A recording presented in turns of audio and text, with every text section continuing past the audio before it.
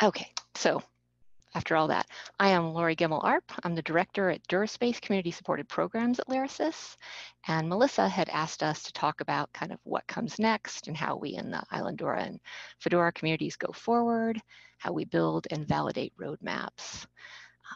You probably saw David Wilcox. He's the program manager for Fedora. He spoke earlier today and is now officially on vacation. So I'm happy to talk about Fedora and how we have and continue to work to make sure we're moving forward with the community as we go forward with Fedora. So I'm going to talk a little bit about building that roadmap. So we'll talk about designing the migration path grant, achieving alignment with governance, and community outreach. So first, designing a migration path. So as some of you in the community are probably you know, already aware of, the issue that we were finding with Fedora is that a lot of folks are using earlier not supported versions, um, 3x and earlier. And there's lots of risks to that, as, as, you're probably well aware. But the biggest one is once software is no longer supported, that means if bugs come up, if security issues come up, and you're using those, that, that's not good. We're not able to go back and fix those once they're not supported. So you're really leaving yourself vulnerable. And we found that migrations to 4.0 and newer have really been challenging. Three to four itself was a, a heavy lift. And uh, Fedora has been around for a while. Sorry, getting notices. I'm going to ignore that and assume that somebody else can handle it. So we did know anecdotally of barriers to migration, but we really wanted to get um, data so we can build a roadmap. The last thing we wanted to do is hear an individual story and assume all issues are similar to that one. Really wanted to make sure that we were addressing lots of different institutions and making sure whatever solutions we proposed and implemented were going to work for the larger community.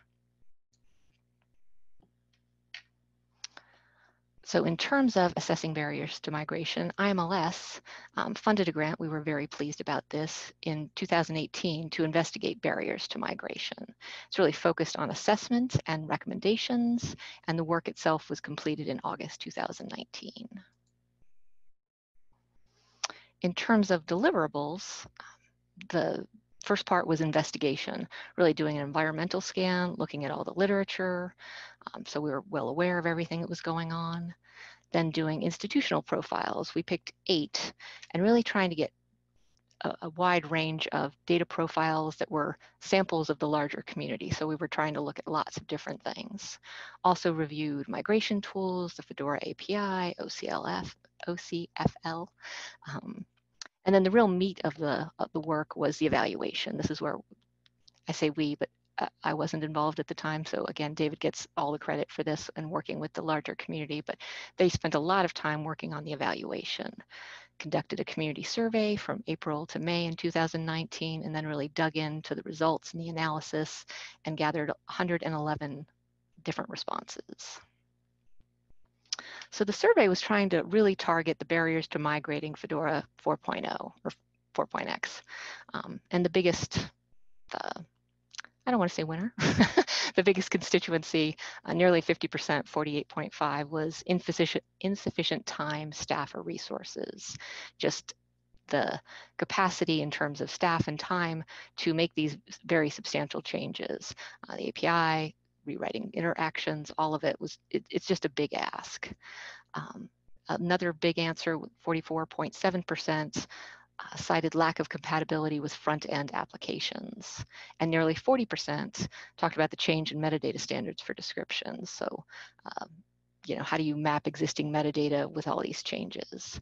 And then also still a, a substantial issue, 33% reported issues with performance and scale.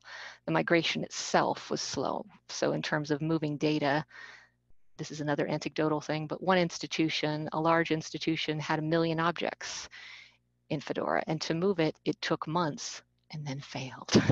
and so it couldn't be completed, which is a disappointing and frustrating issue. We found that a lot of the smaller migrations were easier, but the larger ones just had a lot of issues. And just anecdotally, we are working on um, 6.0 right now, and we have tested that same one that had a million objects, and it took a week to migrate, and it did go successfully. So just to point out, we make sure to address those. Um, there is a migration path report on the wiki that I'm happy to link to later. Um, so if you want to dig into all the results of that, you're, we're happy to share that. So we also uh, did a survey trying to get a sense of what would help. It's one thing to identify the problems, which is important, but then also digging into what would help. And so um, a little over 70% said content migration tools. A slightly second place, 61.4% said metadata migration tools, and over 50%, 52.3% said documentation. So after that survey, which was great, we really wanted to dig in. You don't want to think like, oh, they need documentation and have in your mind what documentation is and find out that's not what most of the people answering the survey thought. So followed up with the subset of the survey who said that they would be interested in talking with us further to really sharpen our understanding. And one of the things that, that became clear is it wasn't obvious that everyone was going to go to migrate, and particularly to six, which is Fedora 6 is the one we're working on now. It was clear in the focus group that if it was too challenging, a lot of those earlier eh, people implementing earlier versions might not migrate at all, or I don't know, worse, but also equally problematic is that they would move to a different system altogether. So the the working with the folks in the folk folks in the focus group, things they talked about were the need for community best practices for data models, um, that labor intensive migration is a decision point, that people really need a compelling reason to do that migration if it's a lot of work. Um, OCFL back to Fedora 6 is compelling and makes migration easier. And David talked about this in his session earlier today. So if you're really dying to know more about OCFL, he gave lots of good data and happy to point to that recording, or I'm sure he'd be happy to talk further about it. And they also always also agreed in the focus group that the security risks of staying on 3.0 or earlier were a real concern to them as well. So we took the survey data and the focus group and tried to really focus on recommendations for going forward. And the two main elements that came up were the focus on effort and value. So the level of effort an institution would need compared to the perceived value. So for example, if something required lots of effort, it wasn't that they wouldn't do it, it's just that they would have to have a really substantial perceived value in order to make that effort worthwhile. So the recommendations were really focused on things that if it was high effort, it really needed to have high value. Otherwise, it wouldn't go forward. So number one, de developing and delivering Fedora 6.0 with OCFL. Number two recommendation was developing migration tools. Three, testing Fedora 6 at scale, making sure, I think David kind of alluded to this this morning as well, making sure that we didn't deliver something that wasn't thoroughly tested by lots of elements in the community to make sure it was really going to meet the needs. And documenting, um, documentation, having case studies, data models, and best practices. And just as an aside, this session, as Melissa asked us to do, is really focused on the future and how we work with the community to create roadmaps. But I feel compelled to mention that all this great feedback from the, the grant has led to our current grant proposal with IMLS, um, which we're awaiting word on any moment. Hopefully in July, we will hear good news that it will be funded.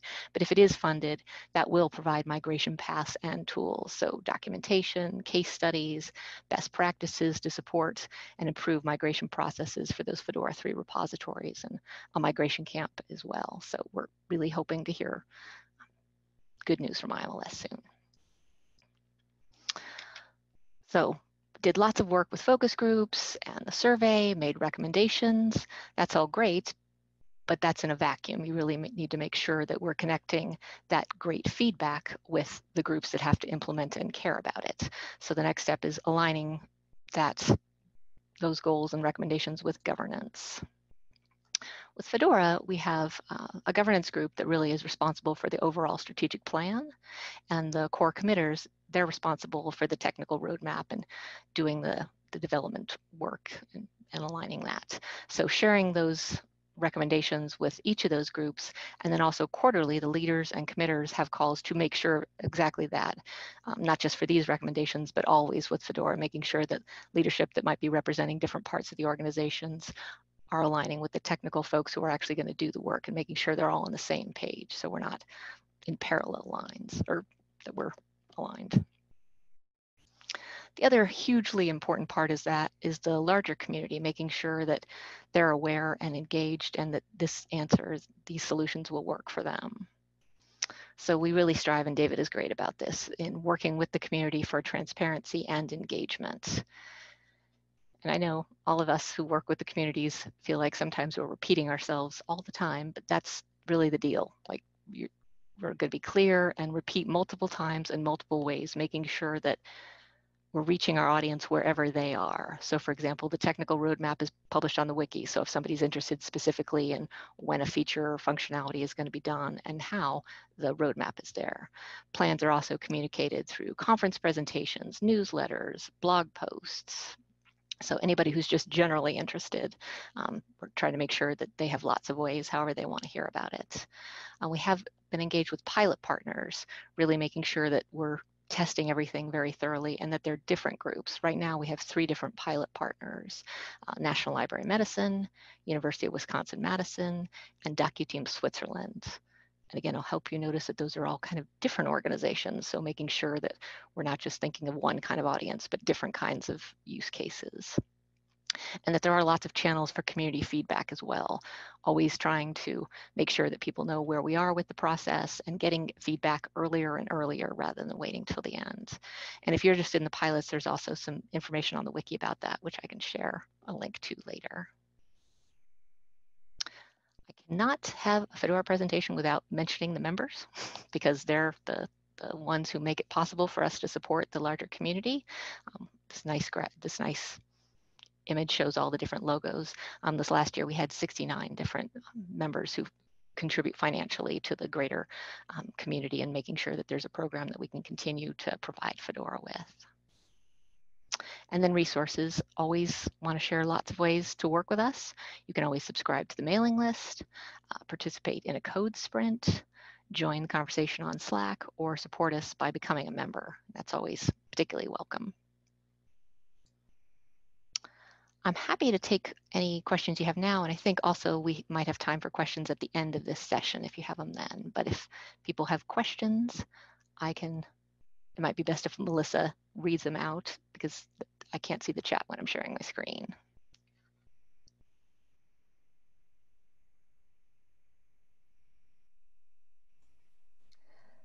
Nothing in the chat at the moment. Well, there'll be a test at the end, so make sure that you ask any questions at the end. And I'm going to stop sharing. How's that looking? Do you see a big pink and orange slide? Hopefully you do. It looks good. Okay, then let's see. I will try captions now. Looks like it might be working. Okay, bear with us. Hopefully we've got this right. So I am good. I am Francesca Baird, and I'm presenting together with Natalie Schilstedt. We'll spend about the next 10 minutes or so just briefly introducing some work that the Islandora collaboration group engaged in this past winter and spring. I'm going to give you a little background. Natalie will talk about the survey we did and the results we received. And if there's time, I'll wrap up with a brief mention of what we've started working on as a result of that survey, um, the outcome of that survey. There hopefully will be a little time at the end for questions, but if not, uh, please feel free to put them in the chat or you can always write to Natalie and I. So that's our mission statement. You've probably heard of us by this point, but just in case. Um, the ICG is an inclusive community of practice that advocates for community use cases, contributes shared code such as ISLE and Laser to help expand Islandora use, and conducts a few friendly low-key hack talks each year. We seek opportunities to strengthen Islandora's sustainability through community engagement and working to build our ecosystem of developers and documenters. We, that's a list of our current membership. We have about 15 member institutions, plus a few consortial members and additional affiliates. We meet monthly by Zoom and have been for years, so we're old hat at this. And we use Slack to expedite communication, especially amongst project steering committees we collect dues and we pay nearly all of our dues forward to be members to, for, to the foundation um, in order to have representation on the board of directors, the coordinating committee, and the technical advisory group. We have worked on and or sponsored development for several projects collectively, most recently ISLE. You've already heard quite a bit about it, so I won't bore you with more. Um, and LASER, which was a project to develop a suite of IR institutional repository features within Islandora 7. As these projects are coming to a close and or have moved on to bigger and better things, we saw a need as a community to figure out our own next steps as a group and, and what we might want to turn our focus to. So at the beginning of this year, um, we really got into thinking about this kind of future direction, especially as ISLE and LASER concluded or moved on. And also our membership was growing.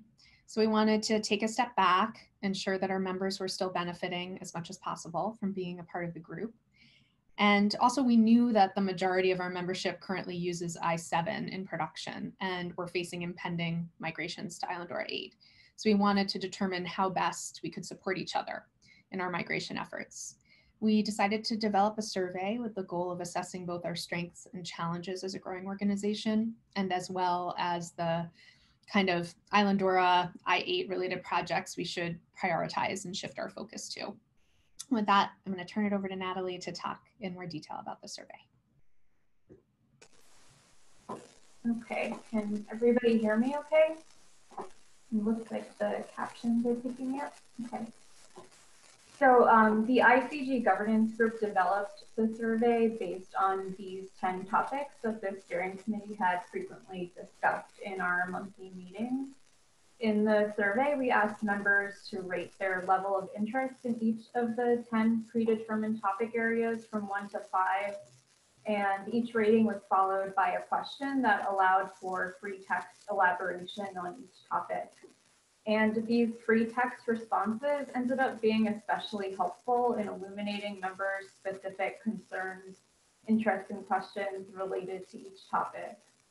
We received a total of 26 responses with at least one response from each ICG member institution.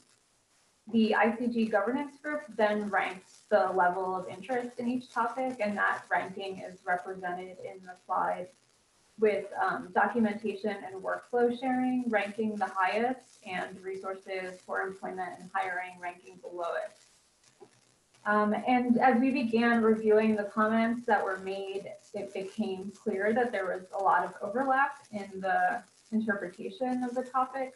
For example, with migration workflows and metadata for Islandora 8 being closely connected and frequently discussed together in the comments, and the first four topics were also very close in the rankings with only a few percentage points of difference. So next I'm going to briefly go over some of the key takeaways from each of these topic areas. Under documentation and workflow sharing, many members called out the need for clear and detailed documentation for Islandora 8 installation migration, maintenance, customization, and metadata workflows, and that not having this kind of documentation in place would be a significant barrier to implementation. Many of our institutions are dealing with budget and staff cuts that were happening even before the pandemic began, and we should assume that we will need to get by without as much vendor support, making documentation all the more important.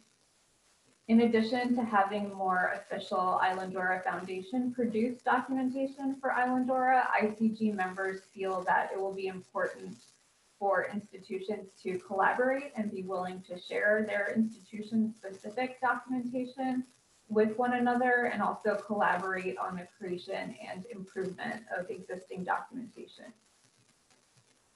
in terms of other specific topics that were referenced under the documentation question, members expressed interest in a wide range of things, including server infrastructure and storage expansions, workflows for system integrations, bulk ingest workflows, navigating the user interface, and troubleshooting.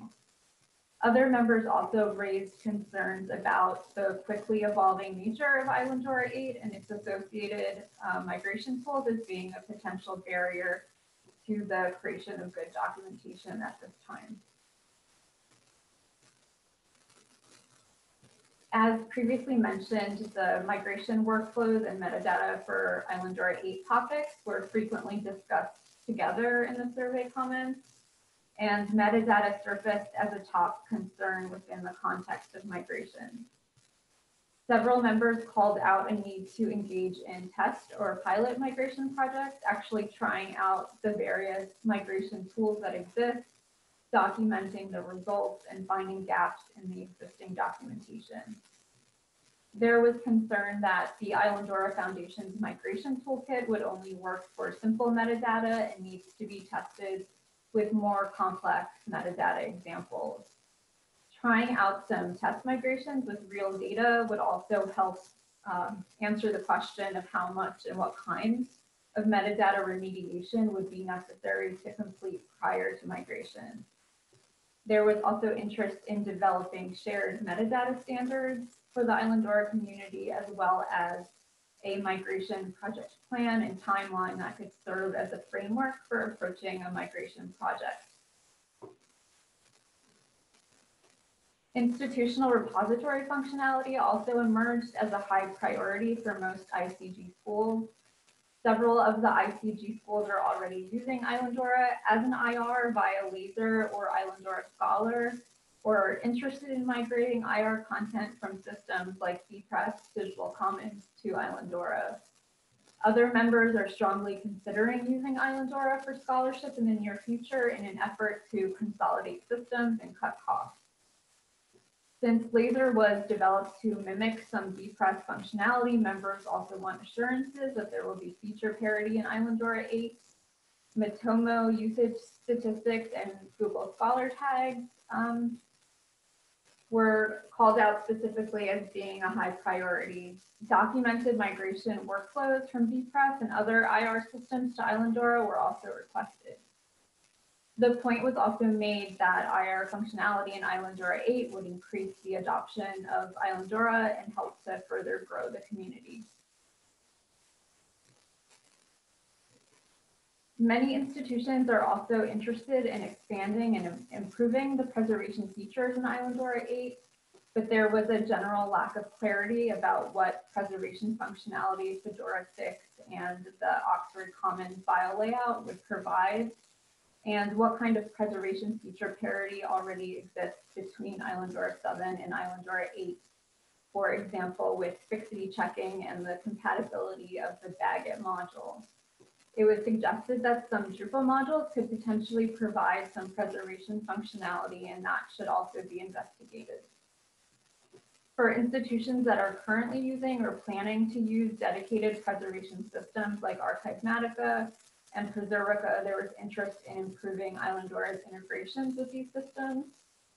As a topic in the survey, integrations ranked low compared to preservation features. It was nine out of 10 versus five out of 10. Um, the comments made under the integrations topic frequently called out ArchivesSpace as being a highly desirable integration because many of the ICG schools are currently using ASpace. because the cost of developing a new custom theme for Islandora 8 would be a barrier to migration for most of the ICG schools. The ICG raised this idea of cost sharing and collaborating on the development of a shared Drupal 8 theme as a potential solution. In the survey results, several members expressed that collaborating on a shared theme would also help us ensure the availability of needed features like accessibility features and speed up our migration timeline. Several members also expressed that in light of budget and staff constraints, that the theme should be easily maintained without a lot of vendor support.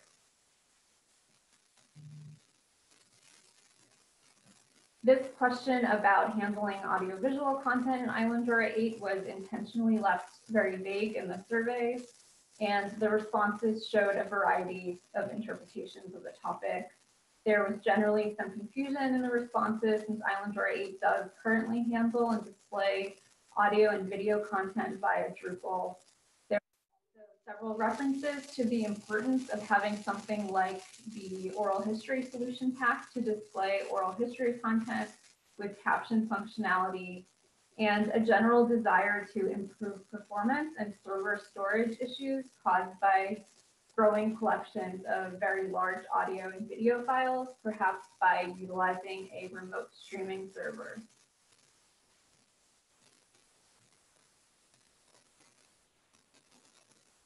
In the survey comments about the accessibility of Islandora 8, several members pointed out that Drupal 8 has native accessibility features, but there was a lack of clarity about whether those features actually meet the requirements of WCAG or the Web content accessibility guidelines.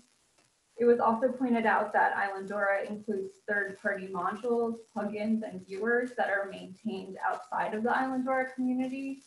So it would be important to reach out and collaborate, collaborate with those maintainers to ensure a truly accessible site. While um, accessibility ranked relatively low in the survey, several members expressed a lot of enthusiasm about the topic, stating that accessibility should not be considered a trend or as meeting a particular community's needs, but rather as improving use for all, and that accessibility is important to the longevity and appeal of Islandora 8 to a broader community. The need for training and employment resources surfaced as an issue within the ICG because many institutions do not have the capacity to hire on-site developers. And for others, it is difficult to find employees with Islandora related experience and skills. Suggestions that emerged were developing a list of required skills for maintaining Islandora as both an administrator or a developer sharing of resources and professional development opportunities for building skills, and increasing awareness of job postings for Islandora related positions. There were also comments about how we should invest in building the skills of our current staff and supporting and encouraging BIPOC developers, digital library professionals, and students who are interested in doing this work. So I will now turn it back over to Francesca, who will talk about some of the next steps the ICG is taking. Thanks, Natalie. Um, I'm just going to be very brief because I'm aware of time. Just to say that uh, we're already starting to unpack, as Natalie has mentioned, there was quite a bit in those results, and we're already starting to think about ways that we can um, adopt some of those questions and attitudes. And some of the ways we're trying to do that is really firm up and um, concretize our connections to the bigger community and the foundation. So while we had already paid for membership to the board, uh, membership to the IF, and so that we could sit at the board, tag, and ICC, we weren't always consistent about having members there. We're trying to be more consistent about that and also bringing those members into our governance group so that we have communication, hopefully feeding into uh, our group from the foundation and the larger community, and also so that we can um, get communication out from ICG uh, in a better, more seamless way.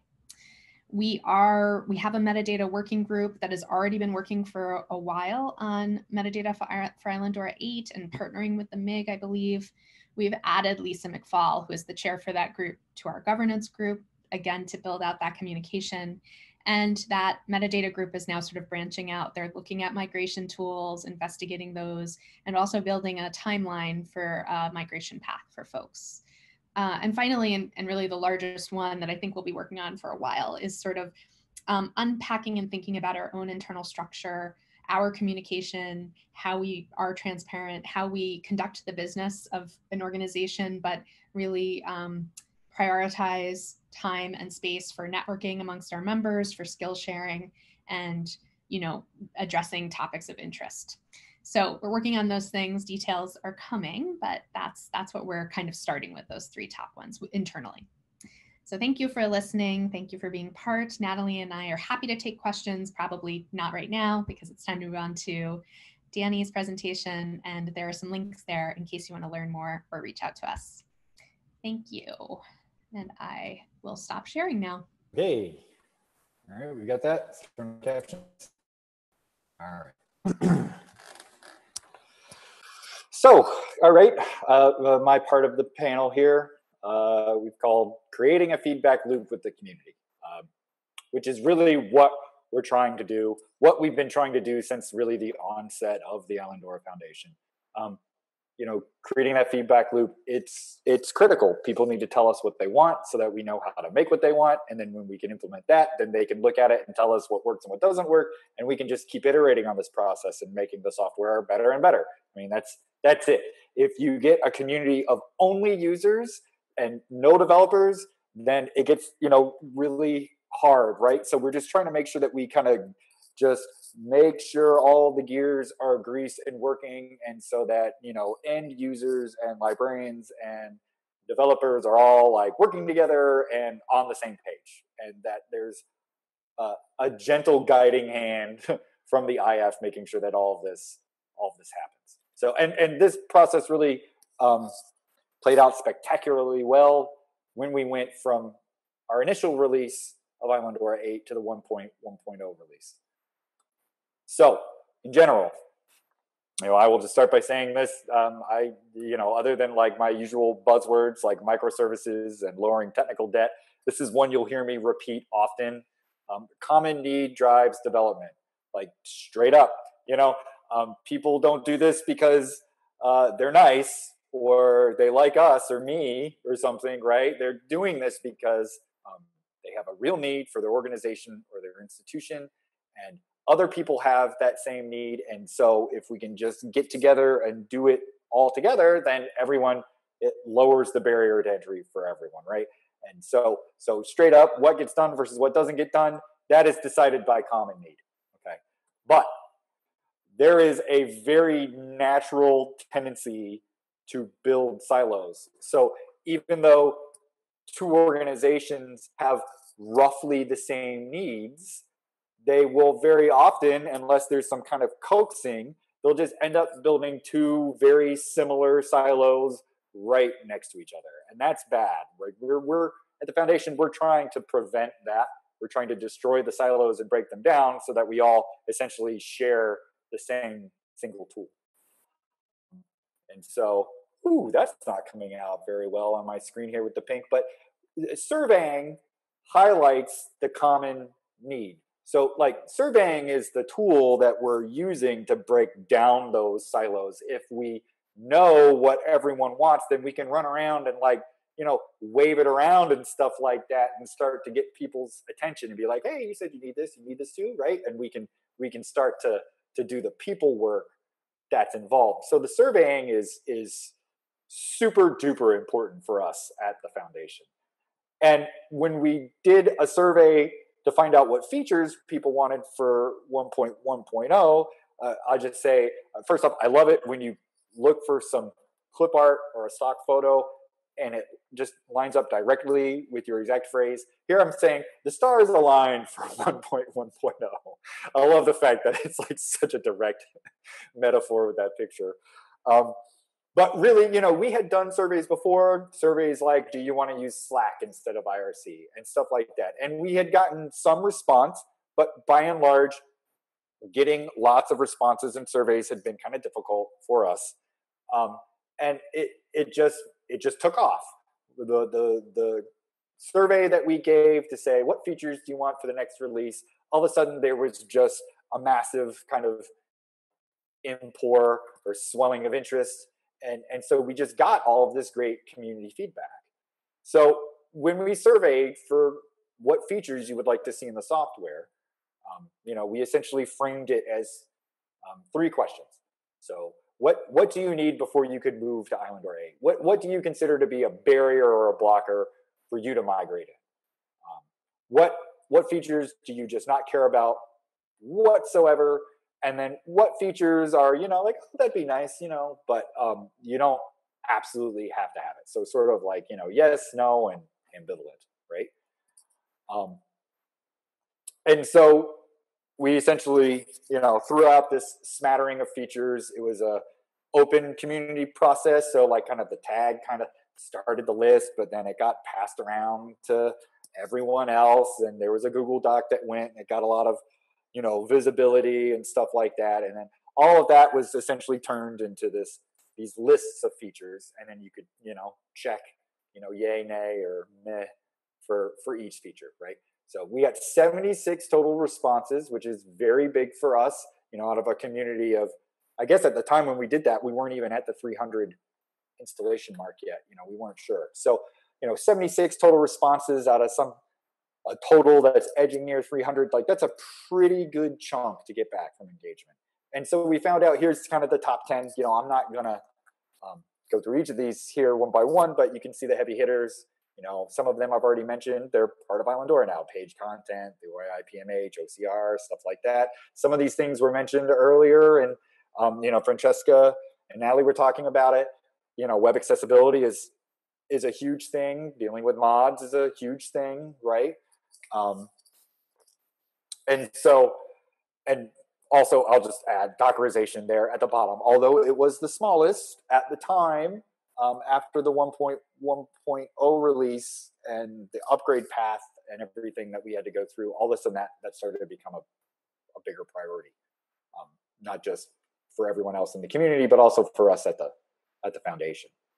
So, um, fortunately, so it was kind of like you know we all knew that everyone needed these things, right? We made this list and everything like that. And we all kind of guessed at what would be kind of the top. We all knew people probably wanted page content and stuff like that. But we were, I mean, just floored by once we had highlighted that common need, once we had pointed out, hey, these are like, you know, these things are the things that people want, it was very easy to actually develop and follow through and deliver those features. And all we had to do was just kind of clear the air and make sure everyone was on the same page. And, uh, you know, all of a sudden, bam, all this stuff just starts happening. So we ran sprints for page content, and that's how page content happened and the OCR derivatives.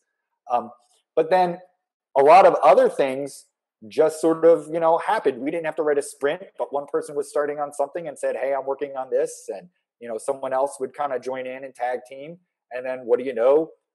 We get a feature, you know, um, and and so really it just is really uh, I don't know heartwarming. I guess is the is the word I'm looking for to see that this is a process that um, works. That we can survey the community, that they will give us that feedback that is also oh valuable, and then all of the concerned parties are actually willing to jump into action to make it a reality. Like, I mean, really, it's fantastic. That's how open source works. And we're very fortunate to have a community that's strong enough for this model to really work. Um, I went to DrupalCon last week, went in quotes, I mean, at my desk.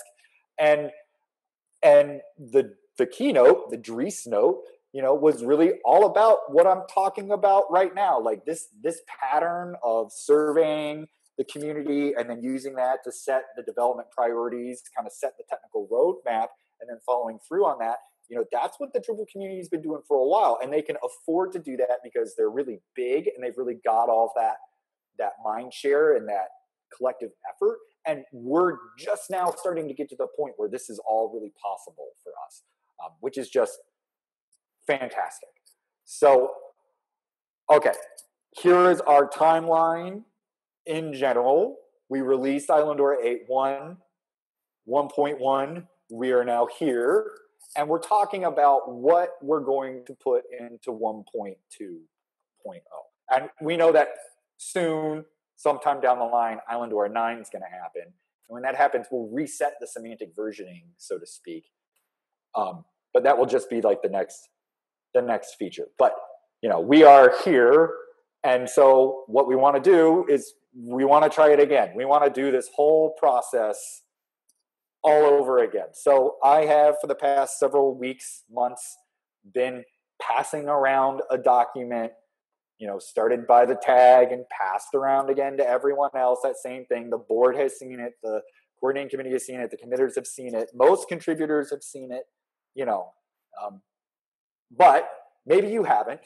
Okay. And so if you haven't, I've got the current survey choices that we've got linked here in the slide. So you can you can check that out if you're if you're interested in that. But what we're going to do is we're going to try one last exercise to improve that document. So after this, we're going to break out, well, we're going to have a break. But then after the break, we're going to break out into breakout rooms and we want everyone to discuss what they think are their top three priorities for Islandora moving forward. Okay, and you can again you can look at that if you want at the at the survey. But we're what we're looking for here is either a are these features that come back from everyone from this feedback are they the same ones we've got because then there's some confirmation there but really what i'm looking for because we kind of get once you read that document you may be quote unquote like kind of tainted and and and you might be influenced right? We want to look for some things that might not be there. So if there's anything not on this document we would we're extremely interested in that as well because sometimes it just kind of you know goes around in the circles and and we're all just kind of saying the same thing. And so you know we just need to maybe break the echo chamber up a little bit okay? Um, so that's that's kind of what we're going to do next with the rest of our time here for for the online conference today so uh, again i'll just and melissa will you know shepherd everyone gracefully as she always does